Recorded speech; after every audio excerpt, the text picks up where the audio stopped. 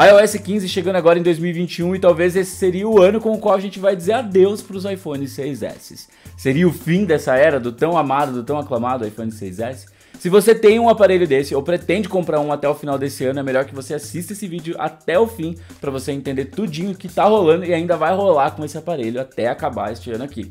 E seria também 2021 o ano que a gente vai ter que pagar, né? Os usuários de iPhone vão ter que pagar para utilizar o Insta, o Face e também o WhatsApp. Tudo isso por causa do iOS 14.5? É, gente, todas essas polêmicas e mais um pouco a gente vai discutir no vídeo de hoje. Então, se você ficou curioso, fica aí até o final. E claro, já tá com seu dedão no like. Sem enrolação, bora pro vídeo. Se você que está assistindo esse vídeo é tão fã da Apple quanto eu sou e ama os seus produtinhos da maçã, seja lá seu iPhone, seu Apple Watch e não abre mão, a gente sabe que a gente só se lasca. É rumor atrás de rumor, informação atrás de informação, polêmica atrás de polêmica, e na grande maioria das vezes são informações que a gente não queria ouvir. Mas fazer o que, não é mesmo? E se você é novo por aqui, prazer, meu nome é Vini Mota, e nesse canal aqui eu tento te ajudar ao máximo a você fazer a sua melhor escolha dentro aí do universo da tecnologia.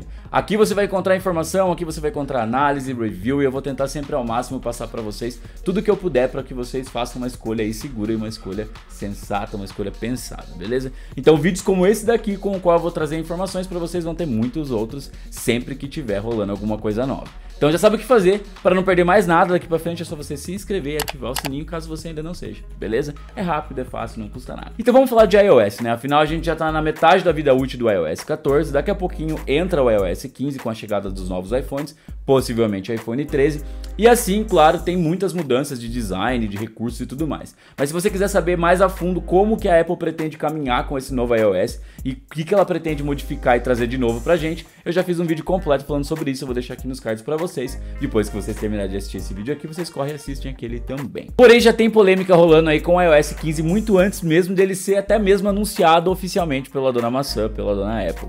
Isso pelo fato que, aparentemente, né, segundo alguns especialistas do universo Apple, do universo da tecnologia, eles estão dizendo que a Apple não pretende agora em 2021, com o lançamento dos novos iPhones e, obviamente, o lançamento do iOS 15, ele ser lançado né, para os iPhones 6S, 6S Plus e iPhone SE de primeira geração. Ou seja, a Apple estaria oficialmente em 2021 aposentando esses três aparelhos do mercado e não dando mais suporte a atualizações a partir de então. O iPhone 6S, 6S Plus e até mesmo o iPhone SE de primeira geração, por serem iPhones tão incríveis, eles agradaram e agradam até mesmo em 2021 a grande maioria de nós brasileiros. Isso porque se a gente colocar na balança aí, esses aparelhos hoje, obviamente que não dá para encontrar eles lacrado, não é tão fácil encontrar, mas usado em boas condições aí no marketplace da vida ou até mesmo no LX, é possível a gente encontrar esses aparelhos a partir ali de 750 até mil reais. Então se a gente colocar a questão custo-benefício,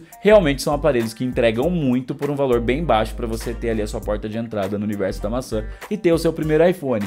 Porém, é muito interessante que agora você pare para pensar mais se você já tem um aparelho ou se você pretende comprar um aparelho desses agora em 2021. Que a Apple reconhecida no mundo inteiro por entregar mais atualizações por mais tempo e seus produtos terem a maior longevidade do universo da tecnologia comparado a qualquer outra empresa, qualquer outra marca, isso a gente sabe. Mas, como qualquer produto de tecnologia, um dia ele tem um ponto final, um dia isso acaba e as atualizações elas realmente não vão chegar mais. E é muito possível que isso realmente aconteça com o iPhone 6S esse ano ano. Porém, não precisa se desesperar, não precisa é, enlouquecer se você acabou de comprar um iPhone 6S ou se você, enfim, tem o seu aparelho e não tem, enfim, condições de poder trocar ele no momento. Porque, gente, é, você vai continuar recebendo as atualizações, o iOS 15 vai chegar só lá pro final do ano, e mesmo depois que parar de receber essas atualizações, o iPhone 6S ele vai continuar sendo funcional por um bom tempo. Claro, a partir dali não vai receber mais atualizações, e claro, toda a atenção que a Apple tinha com esse aparelho não vai ter mais, e com o tempo, isso eu digo daqui um, dois anos, aí sim a gente vai começar a ter alguns problemas com alguns aplicativos que não vão estar mais disponíveis, entre outras coisas. Por isso, não se desesperem, o seu aparelho não vai morrer a hora que, a, que, que o iOS 15 chegar no mercado. Não, isso não vai acontecer. Muita gente me questiona ainda hoje. O iPhone 6S, Vini, ele é um aparelho ruim hoje em 2021? Gente, como eu sempre falo para vocês, não existe iPhone ruim, até porque todos os iPhones um dia foram topos de linha e eles são produtos premiums. Então você vai ter toda a qualidade de um aparelho Apple na sua mão. Mas claro, existe sim iPhones defasados. Então se você tem um iPhone 6S, chegou a hora sim de você começar a cogitar a possibilidade de troca, ok? Não precisa se desesperar, não precisa trocar amanhã seu aparelho, caso você não possa, mas é o momento de você começar a cogitar a possibilidade de uma troca. Mesmo que não seja para o mais atual, talvez ali para um iPhone um pouco mais acima, que vai continuar recebendo por mais tempo ali atualizações.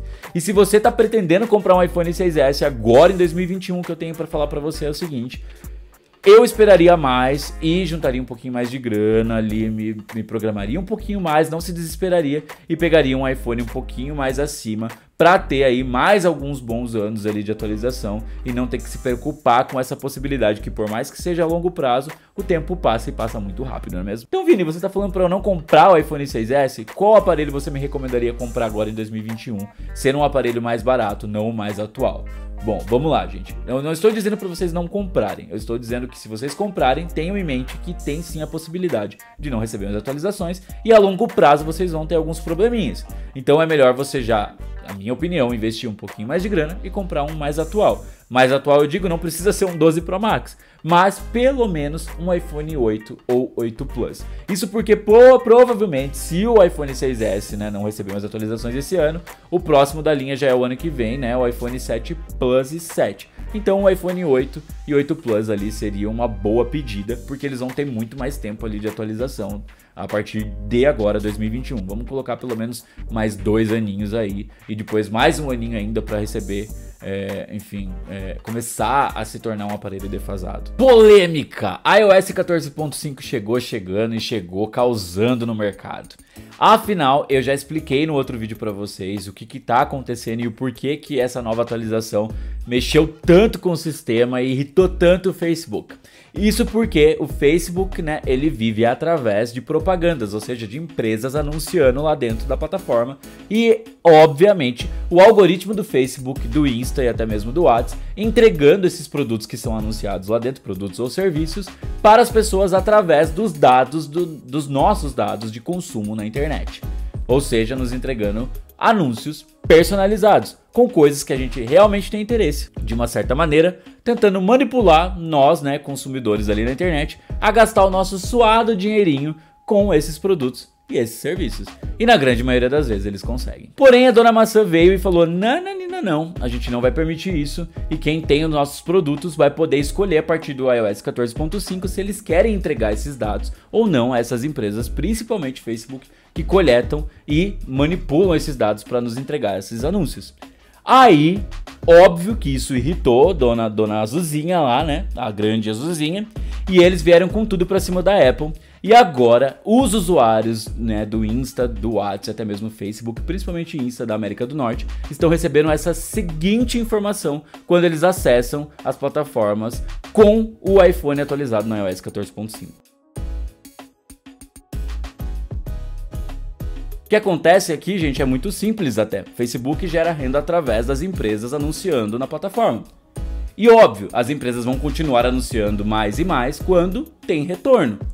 Isso porque, quando eles tinham acesso aos nossos dados, eles entregavam esses anúncios pra gente. E como eu disse antes, na grande maioria das vezes a gente fazia o quê? Ia lá e gastava o nosso suado dinheirinho, consumia ali nesses produtos e serviços que são entregues, ou melhor, jogados na nossa timeline, pra gente poder estar tá ali sempre vendo e se interessando até o momento em que a gente bate o martelo e acaba comprando. E aí o que acontece? Agora, o Facebook não tem mais esses acessos e fica muito mais dificultoso conseguir entregar ali um anúncio que realmente vai ter impacto. De outra forma, pensando por outro lado, se isso realmente acontecer, o Facebook não vai conseguir vender tanto e as empresas vão que parar de anunciar dentro da plataforma. E aí o Facebook vai em cima e faz o quê? Nananina não, meus queridos minhas queridas, se vocês possuem iPhone e vocês não querem nos entregar os dados, a gente possivelmente pode te cobrar para vocês usarem as nossas três grandes plataformas. Porém, não precisa se desesperar, porque já tem também muitos fóruns discutindo a possibilidade de a gente ter a opção de escolha entre entregar ou não os dados. Se a gente escolhesse entregar os nossos dados, aí sim a gente poderia utilizar os aplicativos sem a necessidade de pagar ali um, um programa premium. Caso a gente queira manter os nossos dados sempre seguros ali dentro do, do, aparelho, sem que eles sejam acessados pelo Facebook, aí sim a gente teria que pagar. Mais ou menos como acontece hoje aqui com o YouTube que quando a gente acessa sem pagar o YouTube Premium, a gente vê todas as propagandas que tem aqui no cantinho, as propagandas que tem quando você vai acessar um vídeo, e quando a gente quer não ter mais essas propagandas expostas a gente, a gente paga ali o YouTube Premium, os nossos dados já não são mais entregues e a gente não assiste mais propagandas. Então isso já é normal no mercado. Eu acredito que realmente vai acontecer isso, não vai ser uma obrigação pagar, porém, ter que escolher entre entregar dados tão pessoais é algo com o qual não agrada tanto. Afinal, privacidade deveria ser uma das principais diretrizes aqui da internet, na minha opinião. Eu quero saber a sua. Mas comenta aqui, se você tiver o poder de escolha, você pagaria ou você entregaria os seus dados? Afinal, a gente tá encurralado, não tem para onde ir. No fundo, no fundo, eu sei, você que tá assistindo esse vídeo sabe, que nessa guerra entre Facebook e Apple, quem sai perdendo são os consumidores. Afinal, de uma forma ou de outra, a gente vai ter que entregar algo. Ou a nossa privacidade, ou o nosso suado dinheirinho. Não tem para onde ir, não é mesmo? Fazer o quê? E o vídeo foi isso mesmo, gente. Essas foram todas as polêmicas que a gente tinha para conversar. IOS 15 mal, mal foi anunciado e já tá causando todo esse alvoroço aí com a possibilidade dos iPhone 6S, 6S Plus e SE não serem atualizados. E por causa do iOS 14.5 ainda correu o risco da gente ter que pagar por serviços e produtos que sempre foram gratuitos pra gente. Gratuitos, muito que entre aspas, não é mesmo? Afinal, a gente tá sempre ali entregando algo muito importante que é a nossa privacidade.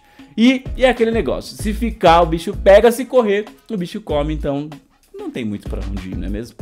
Bom, se você curtiu, já sabe o que fazer. Antes de ir embora, já deixa o seu like. Não sai do vídeo sem deixar o like. Isso motiva cada vez mais trazer conteúdo para vocês. Se não se inscreveram no canal ainda, não se esqueçam, se inscrevam aqui embaixo. A sua opinião é muito importante, então deixa um comentário. E se não me segue nas outras redes sociais, Facebook, Twitter e principalmente Instagram, que é lá onde eu tô sempre mais ativo tentando conversar o máximo que eu posso com vocês. Então se vocês tiverem alguma dúvida ou quiserem conversar somente comigo, é só mandar uma DM lá que eu sempre respondo na medida do possível, beleza? Me segue lá também. E eu vejo vocês na próxima. Até mais. Falou!